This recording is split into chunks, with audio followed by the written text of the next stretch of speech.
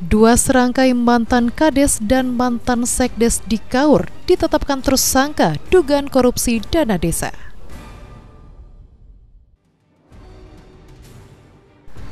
Sopir diduga mengantuk, mobil pengantar paket terjun bebas ke danau.